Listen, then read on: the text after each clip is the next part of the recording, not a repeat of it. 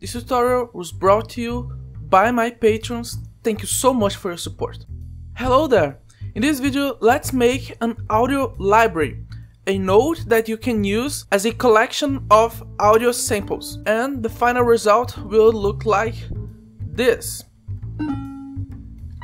You can tell it to play a random effect, or you can tell it to play a specific effect.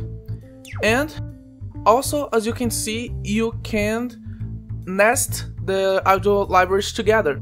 By the way, as you can see, I am using uh, the pop label of the previous video for this visual feedback. So check out the card on the screen to see how you can make this pop label. So let's get started.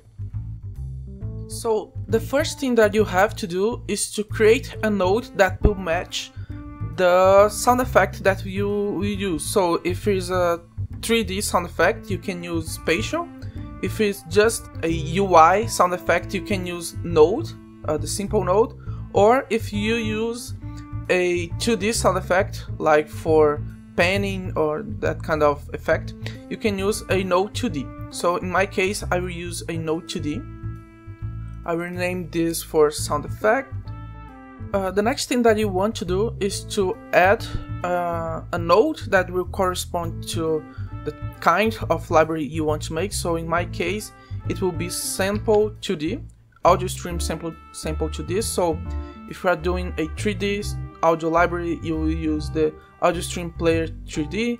If you're doing for UI or other kind of effect, you can use the audio stream player, but I will use the audio stream player 2D and you will rename it as you want to call the sound effect. So in my case, for instance, let's call this um, high down.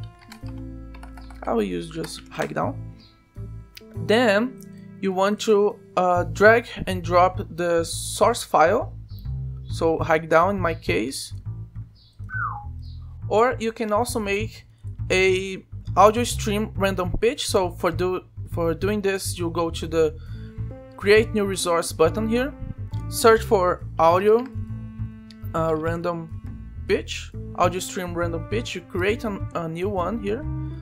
For the audio stream, you drag and drop the source file, so either an OGG or WAV file, and then you save it as a resource in your disk. And you can use this for your uh, node here. So drag and drop the the audio sample random pitch to this stream here. But in my case, I already have an audio library which I can use a lot of audios from that. I will go to the merge from scene uh, feature from Godot and I will go to the digital audio sound effect that I have. I will select all of these and merge them by pressing OK here. So there we have it, a lot of sound effects here. And the idea now is that whenever you tell the sound effect to play something, it will either randomly pick one of these, or we can also pass a specific sound to, to play. So let's go to the script. So I will attach a script to it. I will call it audio library. Library. Create. And here in the audio library we will make a simple function that by default it will receive a no um, sound effect but you can pass one to it. So if we have a sound effect we'll get the you get the node with the sound effect and play it this will make so that if you pass the file, the a string with the name of the sound effect you want to play, so in this case would be hike down, so it will go here in this node and play it. So uh, this is the, the way you can do this. And if we don't have, uh, if you don't pass the node that you want to play it, it will get a random one. So we'll call this uh, this variable and we'll go to random integer.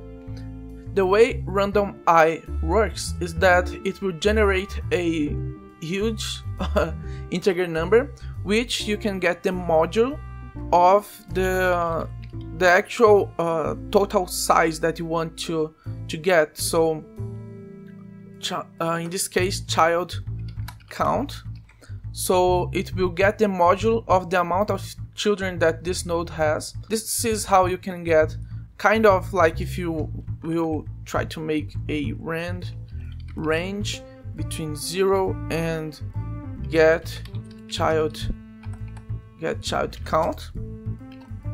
But we want an integer integer number. So this is the way you can get this.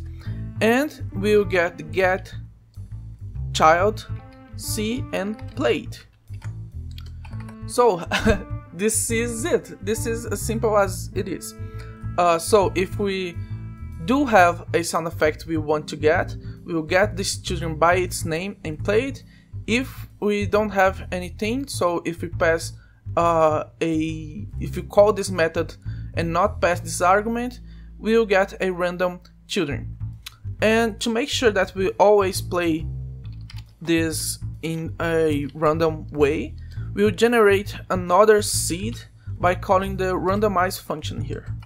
So now I will save this. Uh, yeah let me save this. And just so we can have uh, just so we can test this I will call the function like this first. So we'll have a random one and you can see that we get random one each time.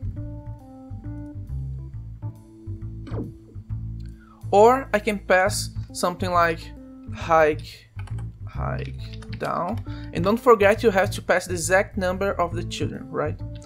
So and it will always play this one. But the real cool thing about this setup this uh, architecture is that you can nest a lot of audio libraries together. So let's say we want to make a an audio library with uh, the lasers. Uh, I will create uh, node 2d here. I'll call this lasers and I will move all of these lasers as children. I will add an audio library to it as well so it will have the same behavior as this one here. So uh, I will make just a button so we can call this function of the play uh, display method from outside the class. So I will just uh, add a button here. I will make this play lasers sound and I will connect the button up signal to the sound effect play method passing a string extra call argument. And I will tell this to be lasers which is the, the audio library we want to get. And by doing so whenever we press the, the this button we will go to the sound effects library tell it to play lasers and it will go to this audio library here and tell it to play anything so it will play randomly uh, any of these sounds here so let's get started and test this. Yeah, it works. So this is it. Thank you so much for watching. I hope you enjoy it. Keep developing and until the next time.